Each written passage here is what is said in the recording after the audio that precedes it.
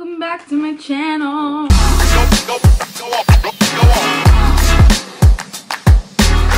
Today we're gonna do a get ready with us. We're in Paris.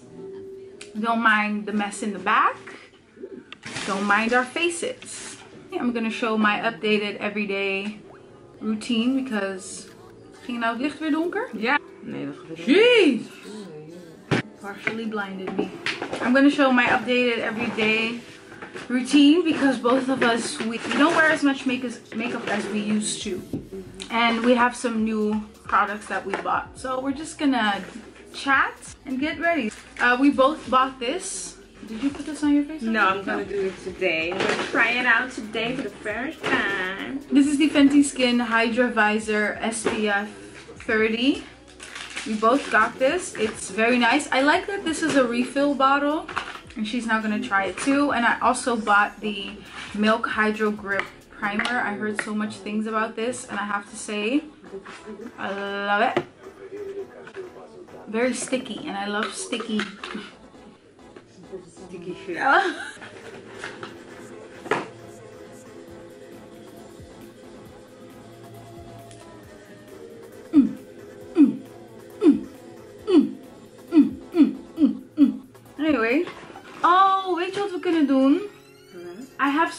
questions. I asked people questions like for for advice, and I Oh, never we made the video. sure do that. Yeah, but I still have the screenshots. Yeah.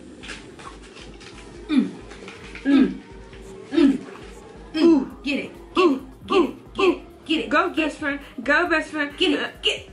Okay, let's just start. The first thing is um, your view on dating. Your view on your dating, the dating life, the like the dating scene in the Netherlands. Girl, don't get me started about these men. Uh, yeah, dating um in the Netherlands is very. We live in Rotterdam. Rotterdam may seem like a big city, but it's not. It's very small. It's Everybody, very small. everybody knows each other. Everybody knows each other, especially us Cape Verdeans are all we know each other. We all know each other or we know of each other or the we know some or we know the mom, we know like we just all know each other. And because of that, every single it seems like every single time you you try to date somebody or you meet someone, you're not meeting them for the first time. It's not new. It's you like- Mm-hmm. already know them or you know of them. I'm sick and tired of this camera. Hmm. Anyway, we were saying, so yeah, the dating life in in unless you mean my specific dating life, and I'm not gonna I don't speak about my dating life. Dating, I would just say, but on the other hand, there's some couples in Rotterdam that just like find each other and they're happy forever. To be something. Yeah. Yes, that's good. But There's there's probably some good being in a relationship takes a lot of patience. hmm You know what seems like marriage seems very hard Yeah. for me. But maybe because I'm such a okay, I'm done with this bullshit bye Yeah. type of person. When you're married, you can't do that. And it looks like whenever you get married, all your problems add up yeah, yeah. Like I'm using um, Fenty Beauty Eaze Drop by the way in shade 17 and I'm mixing in a little bit of shade 15 because my tan is fading. If you're trying to date in the Netherlands, I'm sure you will find somebody for you. yeah. I mean, just because we had some questionable experiences doesn't mean that you will. Ugh. My ex keeps coming back whenever I'm about to move on with another guy. Mm-hmm. What does that mean? Girl, that means that he doesn't want you, but he doesn't want you to be with someone else. Exactly. I'm sorry to say it like that, but that is exactly what that is. He doesn't want you because for some reason you say he keeps coming back, so you keep breaking up. I I mm-hmm. assume you keep breaking up, and there's a reason for that. He doesn't want you right now, but he doesn't want you. And by he doesn't want you, I mean he doesn't want to be in a serious committed relationship. And with you. also, why is he your ex? Like He's your ex for a reason. What's the reason you guys keep breaking Yeah, up and he comes? Because obviously, by the sound of it, you're trying to move on with another guy. Some part of you is done with him, but he keeps coming back. He simply doesn't want you to move on. He's trying to hold you back, keep you from your blessings, keep you in probably a toxic situation, mm-hmm. but he doesn't want to commit. He doesn't want to be the man that you deserve, the man that you need. That's what that means. Because I, I, understand the question of what does that mean? Oh, does he love me? Does he? Does this mean that he? No, I, I'm not gonna say he doesn't love you because I don't know your situation, but it sounds like he doesn't want to be your man, but he doesn't want you to be somebody else's. Exactly. And that is a toxic circle that is really hard to get out of. We've all been through that. That we want to be with a guy, they really don't want to be with us. We secretly deep down know it. We stay. Then we try to move on.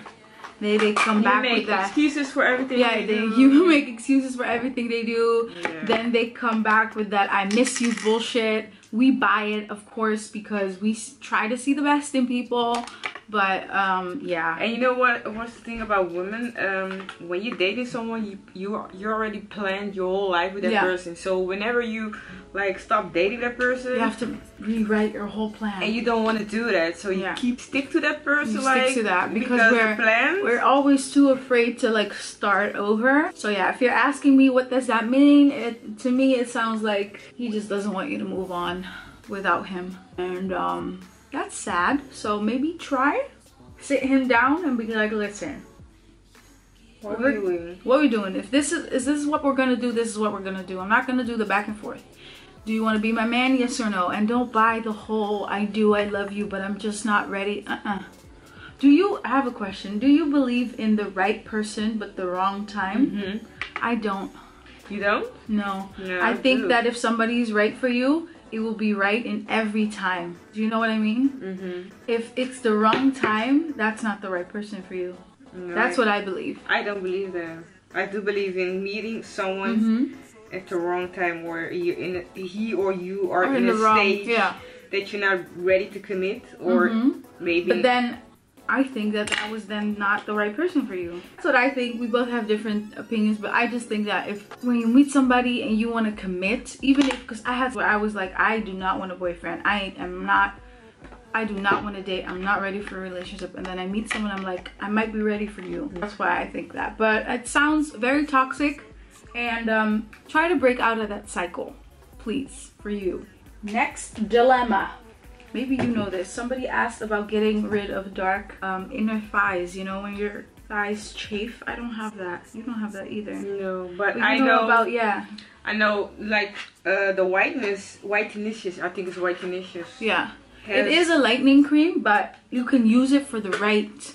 reason. Yeah, you can it. You can use it for the right purposes, the right reasons. You don't have to do the whole. You know, it's not the, The whole skin bleaching, bleaching. right. No, you can use it on areas that are darker to even out your skin tone. Exactly. So yeah. So they have. I think they got a cream for inner thighs. Oh, they do? and they have creams for like the coochie area, like if you wanna. Oh, give- you want that? Cause I have dark from you know from razors, and Mhm. Oh. You should you should see the before and after pictures on their on their Instagram. I'm gonna try that out. And they have for your underarms. They have kind of Expensive? but Yeah, it's worth it. yeah, I just do it. It's worth it. I tried the for the spots on my Oh, face. you did. Yeah, you did. She has a video on her channel on the um removing the, her spots with the same cream.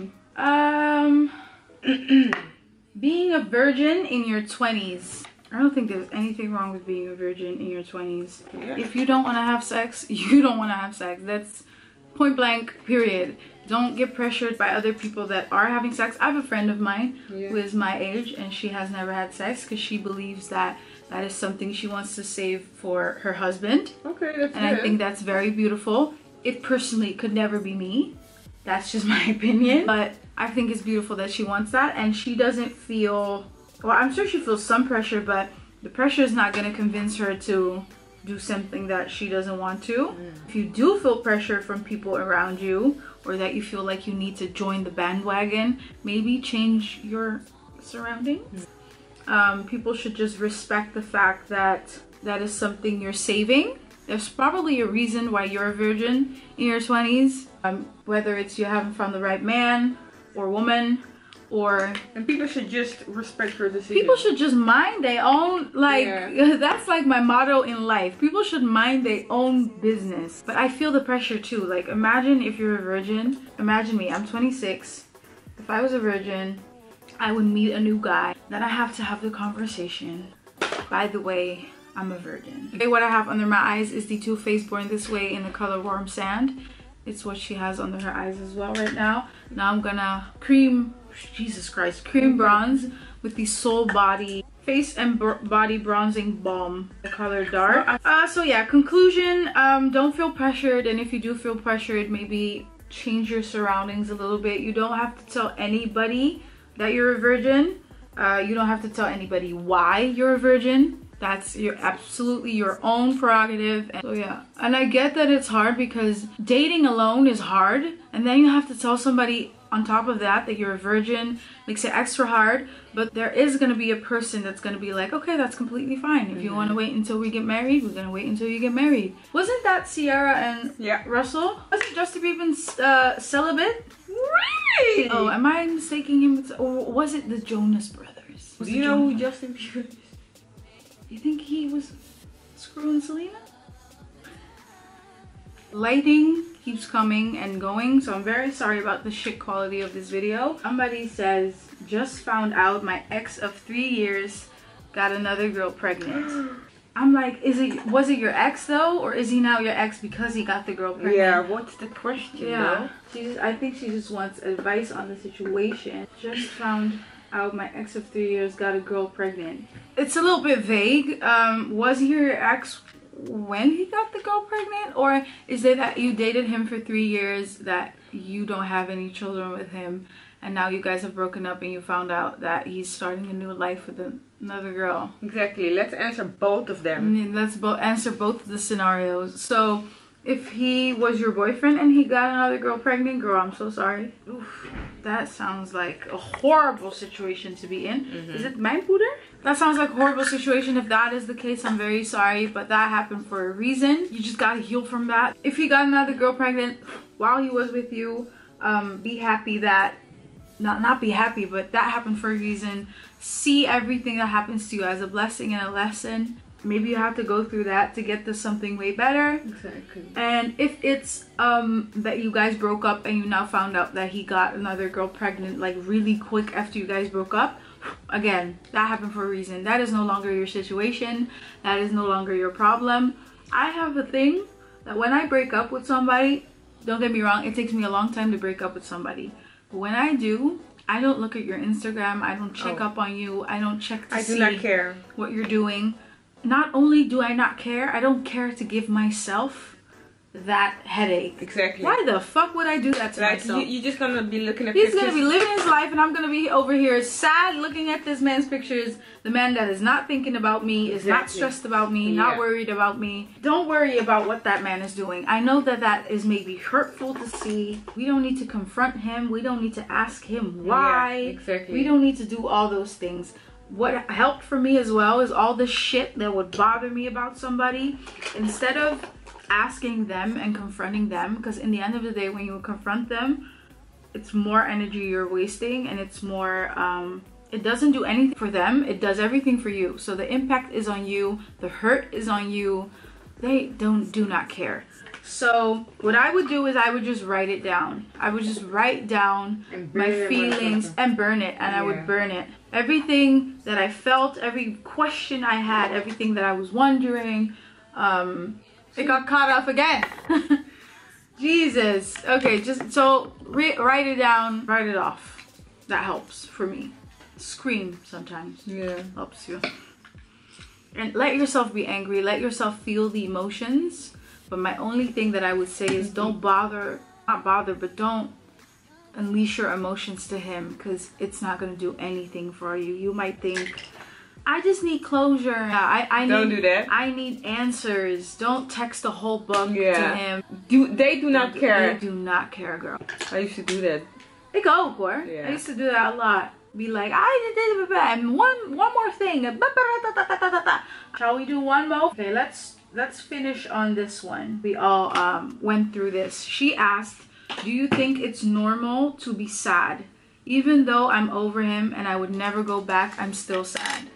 Of course. that was a huge part of your life, probably. Your relationship and him, that was a huge part of your life. He might have changed you for the better or for the worse.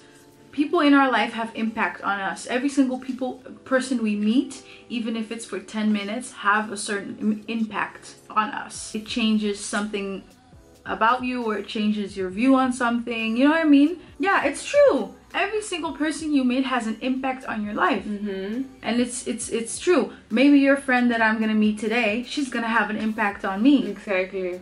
I don't know what it is yet, but it's, It's- some type It's you to figure out what. what? Because you're exchanging energies with Yeah. somebody. So for him to be your, he was your boyfriend, you've ch- exchanged so much energy.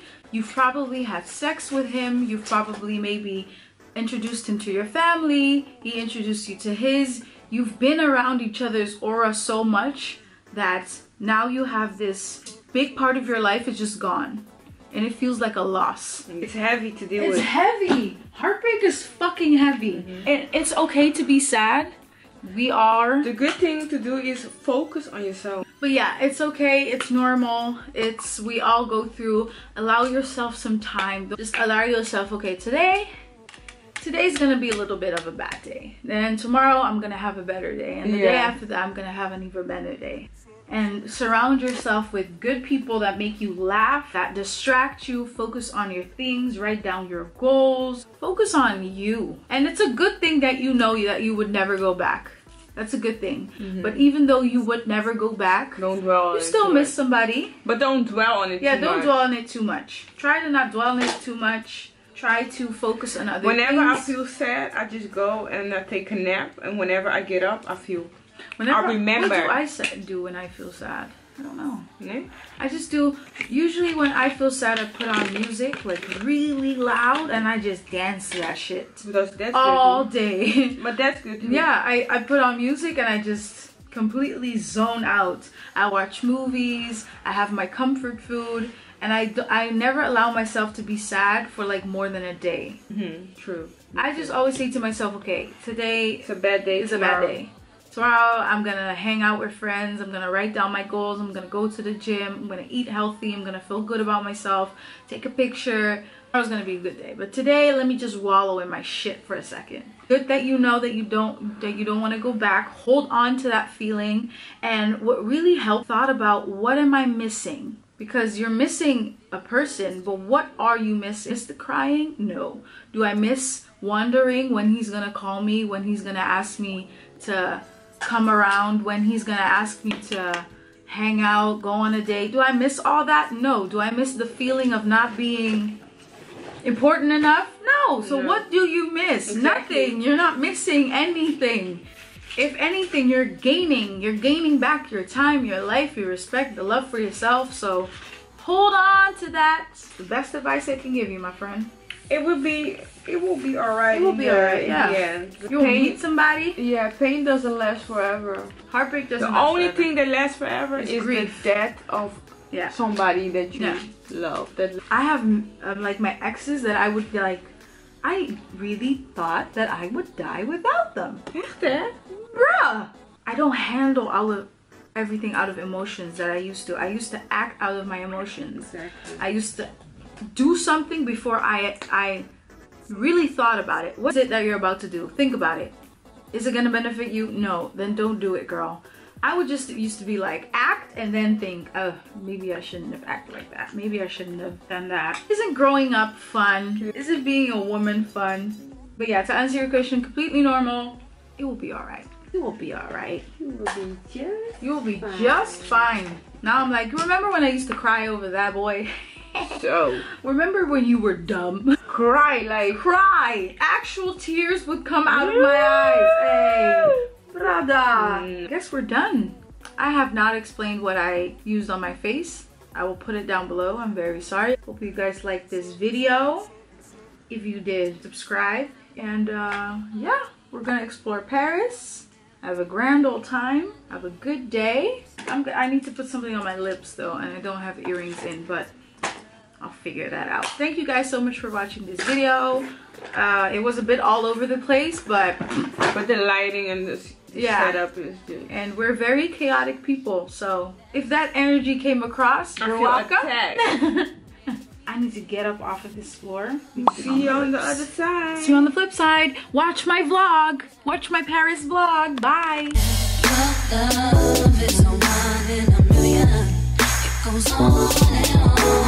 now you give, give.